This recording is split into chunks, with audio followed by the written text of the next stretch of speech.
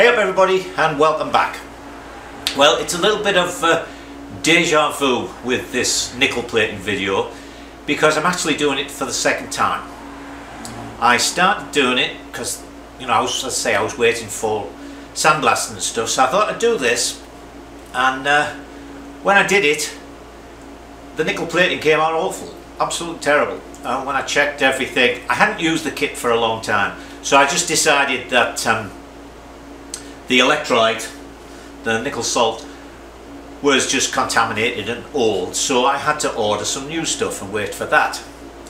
And then while all that was going on, we had two feet of snow last weekend. And then it dropped down to minus 11 degrees F, which is what, 20, minus 20 something centigrade. Was so cold in fact that even though I had additive in it, the diesel fuel in my tractor gelled up and I couldn't even use that to clear the drive. Actually, it was worse than that. It started up, was running fine, you have to let it run for a while because it's one of these hydrostatic ones. Uh, so I ran it for a while, backed it out of its building into this two foot of snow and that's when it died and it wouldn't start again. So I ended up with a little electric heater because it doesn't have a block heater. Uh, I had to put a little electric heater underneath it, a blanket over it, all sorts of stuff. Anyway, I got it going in the end and cleared the snow and then my computer crapped out on me and it's been really nothing major but one thing after another. Extremely annoying. So, here we go again. Now the one good thing is of course that because I had to order new chemicals and stuff, I've just cleaned everything up and uh, we'll do this as if you're buying one of these kits. I'm assuming that everybody's kits are about the same. Let's say this one comes from uh, Caswell and I believe there's a Caswell Europe so you should be able to get them there. So let me show you uh, what the kit is then we'll talk about the process then we'll do a little bit of plating. Now some of this stuff this is everything you'll need. Some of it you get in the kit, some of it you have to buy separately and uh, as we go through it all you'll see that um, you can get around some of it. Okay, the kits generally contain a bag of nickel salt. Doesn't actually say what they are on these, but I think it's uh, it's nickel sulfate, I think. You also get a thing called nickel brightener. And I'm not exactly sure what is in this. Um, you know, a lot of this stuff, they, for commercial reasons, they don't put what's in it because they don't want other people to copy them. But anyway, you get that, you get this, you get a nickel plate, well you actually get two, you generally get some of this sort of muslin stuff, which is used to wrap the nickel plate and it, it keeps things off the nickel. And sometimes you get a bucket. Now if you get a bucket with it, like the Caswell kits come with a round bucket. And um, a little later on I'll explain why I like to use a square bucket. So that's the absolute basics that you would get in a kit. I think you can get sort of a slightly more expensive kit where some of these other things will come in with it but if you just wanted to start basically that's what you would get. Then you also need a heater. One that has a thermostat in it and that you can set it because as with all chemical reactions the optimum rate is at a specific temperature. You also need something to agitate the solution in here this one came actually with the original kit, but I noticed that the later kits didn't supply one of these. Uh, and basically it's just an aquarium aerator. Again, I'll explain why you need that. You need water, but you need distilled water. The amount depending on how much crystal you've got and how much solution you want to make up. It's an electroplating process, so obviously you need the electro part, so you need a power source. I've got one of these, but again, as we go through, I'll explain how you can manage without uh, one of these variable amperage things. So that's basically it. As long as you've got all that stuff, you can nickel plate. So what we'll do now is we'll pull out a bit of paper and I'll explain the nickel plating process then we'll go through the various items in detail. Now the whole purpose of nickel plating is to get nickel onto, in this case I've put it as, as steel, just like a bracket. So we need some way to get that nickel from there to there. So what you have is you have a nickel plate. That's the one I showed you there. I'll show you something else about that in a second as well. And this is going to be our anode. We're going to connect it to that and that's going to be our positive. This we're going to connect up to our other the other end of our electrical source and that is going to be the negative, the cathode, anode and cathode. So you want to get the nickel from here to here. So what we do is we stick the whole thing in a bath of a nickel salt. There's our wires going out. And we pass a current through it. Positive to negative. Now what happens is this solution here, as I say, is a nickel salt and I believe it's nickel sulfate, which is Pardon me if my writing is bad. Nickel sulfate. I think that's the right formula. God, it's a long time since I did any of this. Anyway, what happens is that when you pass the current through it, the nickel sulfate dissociates and it becomes nickel ions and sulfate ions. Well, the nickel ions are positive, so they go and they clag themselves onto this. And the sulfate goes over here and clags itself onto the nickel and becomes nickel sulfate again. And the process just keeps going. Once it becomes nickel sulfate again the current breaks it up. Some more nickel comes over here and sticks on there. Some more sulfate comes and attaches itself to the nickel there to put it back into solution. Now that makes this nickel anode what's known as a oh the word's gone. I'm getting old what's the word come on people it's a sacrificial anode and I'll show you what happens. This is the one I've been using for some time. See that? It's just slowly disappearing. So this, if you like, is a consumable. Basically the solution stays more or less the same because you're constantly going from the nickel sulfate to just the nickel and then back again. So that's the process. That's all we've got to do. We've got to get ourselves a nickel plate we've got to get ourselves whatever it is we want to plate and we've got to stick it in this solution. Now as I mentioned you want this solution at a specific temperature so we're going to put a heater in, uh, we're going to have the agitator in there etc. But basically that's all that's happened. We're transferring nickel from there to there. So now let's look at the bits we need in more detail. Now the first thing you're going to need is a container to do everything in. Now, just get a plastic bucket. As I say, often with the kits you get a round one. But the problem there is, if you imagine the, uh, the curve of that to be sort of the roundness, when you put the plate in, you've got to have it out there. So with two plates in, you only have this little gap in the middle to put the items you're going to plate. But if you use the square one, you put that in there, put the other plate down, and you've got a lot more uh, volume in between the two plates. So you get yourself your bucket. Now as I say, you need to have this running at a specific temperature. So the next thing you're going to need is a heater of some kind.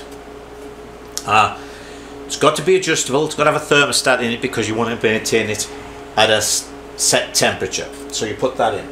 Now, the next thing you're going to need is, as I say, the agitator. Now the reason for the agitator is twofold. One is that when you do the uh, the actual electroplating, don't forget there's as well as the nickel sulfate, there's water there, and the water is going to dissociate to a certain extent as well, and you're going to get hydrogen, and the hydrogen will go to the thing you're going to plate, and it'll form little bubbles on it, and obviously where there's a little bubble, you're not going to get any plating so you'll end up with pitting. So you need to keep it agitating the solution agitating round the thing you're plating so that the bubbles don't build up. The other thing is that we're working basically at an atomic level here.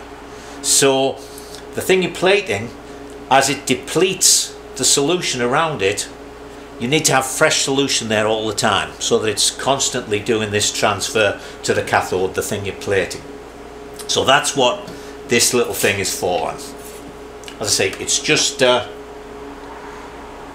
it's just an aerator, so just get something from an aquarium place. Then you need your nickel plates. And these we stick in there like such. Cut a little piece, a little strip, because you're going to need somewhere to connect to your power source. So that's what that's for. Put one of those in each side. Now as I mentioned, you get this muslin which you wrap around it and then you put a couple of elastic bands on you see all this when I'm, we sort of set up that will go in the other side then you make up your solution. Again distilled water. So it tells you on the packet how much to make. It also tells you to make it up take it to a certain temperature and sort of leave it overnight. That's to make sure it's completely in solution before you do any plating. Then of course you need some way to get the current to go from one end to the other. So this is going to be the positive of the power source and then the easiest thing to do is just get yourself a piece of old copper pipe keep it clean hang that on there and then you're going to connect your negative to this. Hang the piece you're going to nickel plate on that and stick it on there like that. Now you can see with this hook that it's got nickel on it. What this is the easy it's copper uh, it's a piece of copper wire. And what I do is get that sort of really heavy gauge, just scrounge a piece from an electrician, the sort of heavy gauge copper wire, which is solid and not strand, and then strip the insulation off and you're left with this, which is what, got it's about an eighth of an inch thick. And it works really nicely for that. Right, now the next thing you're going to need, very importantly, is your power supply. Let me see if you're still in frame. See, I'm getting very technical, in frame. So this is going to give you a positive and a negative. So the negative will go to here. Again, I've moved you, so I, yeah, everything's still in, great. Is going to go to that, and the positive is going to go to your nickel plate. So what you also need is a little piece to connect the two plates. Now what I've done is when I cut this strip, I cut it the right width for a spade connector. So now I can just pop the spade connector on there and these two are connected. And that's our circuit, positive, negative, round like that. Now, the actual plating is a consequence of amperage, not voltage. And with nickel plating, one amp will plate 16 square inches of metal, whatever you want it to plate. So you've got to work out the surface area, and again, we'll come to that a little later. But you can look at this two ways, and this is where you can get away without using something like this here. And it's the way I used to do it originally. If one amp will do 16 square inches, then 16 square inches needs one amp. Now here, I get my pieces, I measure the various bits, and if all the bits come to say 32 square inches, I set this to 2 amps. And we're fine. What I used to do was, as I say, I would work it in reverse. And I had um, a little transformer from a computer. So it was converting AC to DC, but also it was setting out a fixed amperage. Now let's say it was half an amp. Now half an amp will only do 8 square inches. So what I used to do was I'd get all my little bits and I'd measure the surface area of them and I'd say okay these three bits give me 8 square inches, I'll do them. So you can do it either way. You can either plate the amount of square inches that suits your power source or if you've got a variable power source and they're not actually that expensive which is I mean obviously if I bought one they can't be very expensive. So that's why I bought one of these. Uh, so that's the basic setup. Now what I'm going to do now is make up some new solution and as it says you put it in. I'm going to make up three gallon. And leave it overnight with the heater on and we'll come back to it in the morning and then we'll look at how to uh, prepare the piece you're going to plate and the things that are important with that. Right, we're back. Now I've got to be honest here, I did a little test piece and I still wasn't happy with it. So I thought, okay, maybe it really is this uh, as you may have noticed the nickel plates are about clapped out. They should keep going basically till there's no nickel. But I thought we've got new solution and everything so I bought some new nickel plates. As you can see I've uh, cut my little bit up quarter of an inch so that I can uh, cross connect them. So what we'll do now is we will wrap this. Now as I mentioned this uh, this is here for a specific function. Now just as we get some hydrogen when we pass the, uh, the current through this naturally if we've broken the water up we get some oxygen and you get some nickel oxides forming on the nickel. And the purpose of this bandage as they call it in the kit is to keep that nickel oxide out of the solution so as I say you wrap it on like a little pouch you put a couple of elastic bands on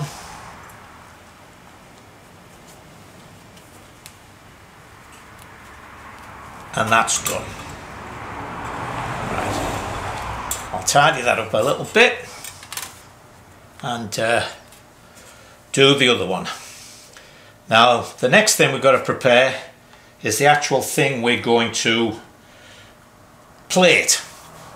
So what I've got is this here. Now I've got drill a hole in it to hang it on and what I've done here is I made it a reasonably regular shape so we can measure it and uh, work out the surface area which I'm going to show off a little bit of an ego trip in a moment now you will notice here that the bottom is very shiny the top's not quite so shiny and this side is dull now nickel we're only going to put a thou so on so it's even more sensitive than paint to the preparation anything underneath the nickel is going to show through. If you want a highly polished nickel finish, you've got to pull it on a highly polished base. So that's why I've left this like this. We're going to have the highly polished bit, so you'll see what it's like on that. And man, that little, that just caught it and scratched it, but that's going to be handy for me for something else. This has been polished up a bit, but I don't know if you can see, it's still got scratch marks in it and so on. And this has just been sandblasted and it actually produces quite a nice sort of almost matte. It's not quite a semi-gloss, it's closer to matte, but a grey finish. But it is nickel, so it's you know it's going to be protection from rust and all the rest of it. So this is what we're going to plate as our test piece. Now, just as the finish affects the nickel, then also, like with paint, with glue, with anything else, you've got to have it completely clean and grease free. Otherwise, the nickel, the paint, whatever, is going to stick to the grease or the muck and not the thing you want it to plate. So this has got to be degreased. Now you can buy from the kit manufacturers um, a degreaser, which I think is basically caustic soda. I, I didn't buy any myself. And you sort of boil this in it for a couple of minutes and then you degrease it. So what I'm going to do, because it's such a small piece, is I'm just going to use some acetone to degrease it. And then once it's been degreased, you do a water test on it. Um, I should have some water to show you. I'll show you this in a minute. I'll get another little test piece out. But when you've degreased it, then you don't want to even be touching it with your fingers, or you will see the finger, you know, particularly if you've got greasy fingers, you will actually see a fingerprint in the nickel. So let me degrease this up and get it ready. Uh, but before we do that, we'll measure it because we need to know the surface area.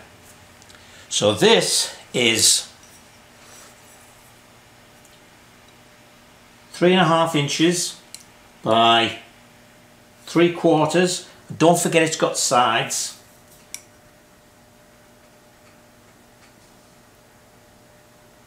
By almost an eighth. So let me show you something else. Now this is a program that I wrote for uh, in the workshop. I did actually have a bigger one that did my invoicing and everything but um, I had the power supply crap out on the computer one day and this is written in uh, Microsoft Access and the way that works if the power goes off while the database is running it just gets corrupted so I had to write another one and I don't need invoicing now so It's got my workshop manuals and everything in it. So what we do is we go to nickel plating. We are going to use a piece of plate. So we have 3.5 inches by 0.75 inches by 0.125 inches thick which gives us 6.3 square inches that's both sides and all the way around the edge. And that should give us there we go. So we need basically 0.4 amps. That's a lot easier than doing it with a calculator. So we're going to give it a little bit more than that. Um, if you give it too much it tends to sort of burn the finish. But don't forget you have the wire in there and things like that. So I'm going to give it 0.5 of an amp so let's go and uh, look at our test piece. Right, I've got everything wired up. Positive to our uh, nickel plate and it's cross connected around there so they're both positive. Negative to this piece on which we're going to hang this. So make sure everything's nice and clean so you've got a good electrical contact. Put that in. Again, just pull it around a little bit make sure you've got a good contact. It's hanging in between the two plates. And we'll just let the temperature settle a little bit there before we switch this on. And while that's happening I'll mention something else that you've got to bear in mind which I should have said before. We measured a piece of plate there. But just think if you were going to nickel plate this. For instance imagine it was a wheel spacer or something like that. Well you'd want it nickel plated inside as well to get it all nicely rust protected. So this time you're going to have to work out the surface area of the outside, the surface area of the inside and also the end here. So you're going to have two surface areas and two ends to work out. That's why I wrote the program, it does all that for me. Okay, so let's say we'll give that a moment. Right, now then we're going to uh, switch this on and we wanted 0.5 so let's see.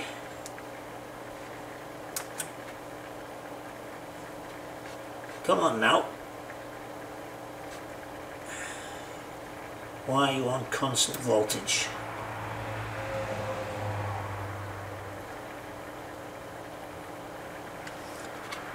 Oh isn't this just typical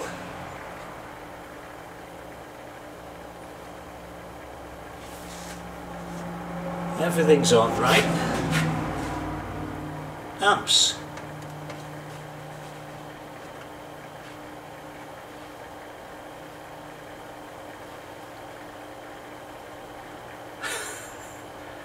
I don't believe this. Don't tell me my nice new voltage regulator has decided to pack up on me. Let me switch you off while I play with this. Right, you missed all the cursing and swearing there. Shows you how much I know about electricity. I didn't have enough voltage to get any current going through it. So, as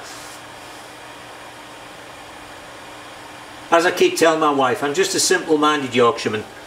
So let's uh, set that at 0.5 roughly. See, it's given takes very little amperage, uh, very little voltage to get that amperage through there. So we're going to give that an hour, which is what uh, Caswell recommend for outdoor use. So um, I don't know, do you want to sit there for an hour and watch the little numbers change or shall I actually turn you off and come back later? I'll turn it off. Alright, I've just switched it off. It's had just over an hour.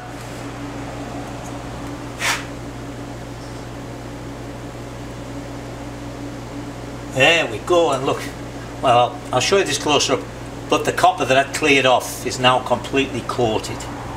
So let me give this a wash off and then we'll have a closer look. There's our test piece. Now, let's see, I didn't go mad with all this because I wanted to show you various things so you can see the quality of the shine to it. And there where it was perfect, and there's marks little scratches you can see all them.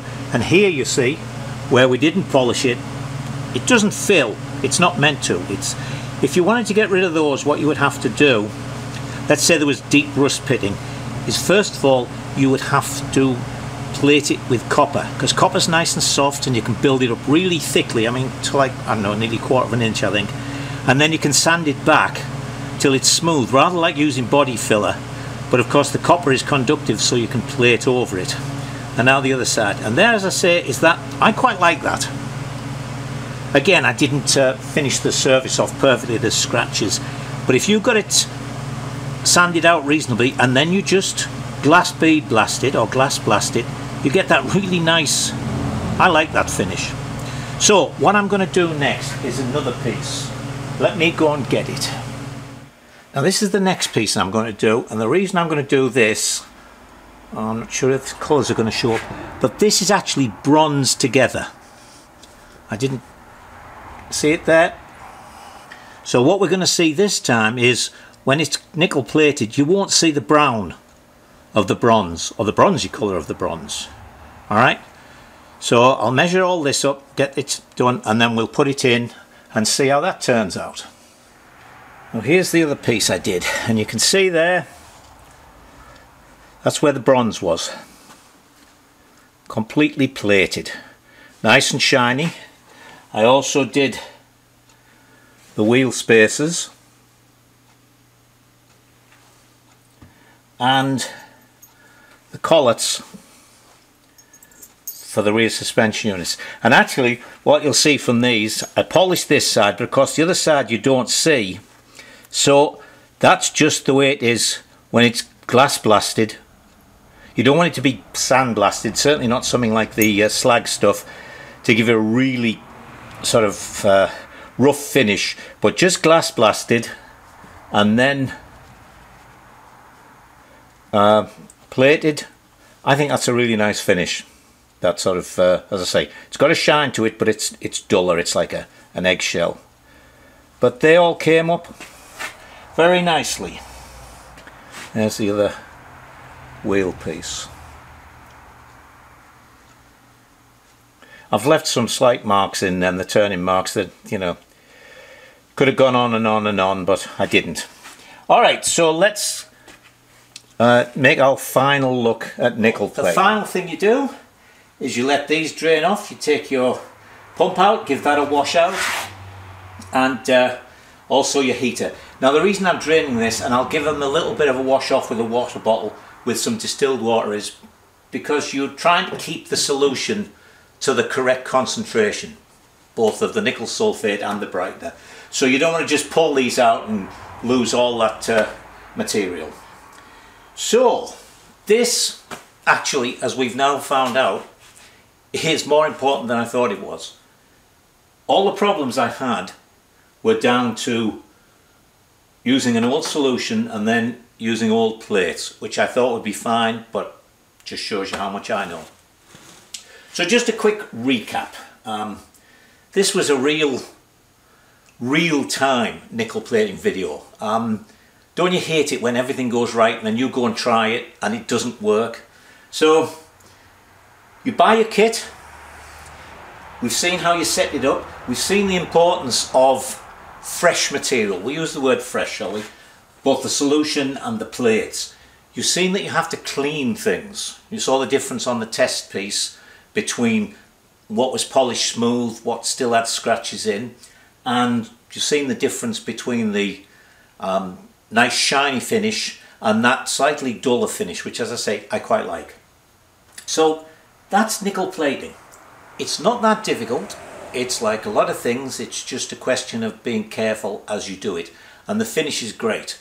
Um, I have parts on my trials bike, I think I mentioned this, which I did what eight years ago and obviously this bike goes out in the wet it gets covered in mud and all sorts of stuff and left dirty and they're still fine. No peeling, no rust. These kits really work as long as you do it right. So I hope that's given you a good idea of what's involved in nickel plating. And um, if you have any more questions, either make a comment and I can answer it, or send me an email through the website www.britanniamotorcycles.com and um, I don't know so much that I'll be able to tell you a lot of stuff but I will be able to tell you where I went wrong and what worked right. So until the next time, off you go and enjoy yourselves.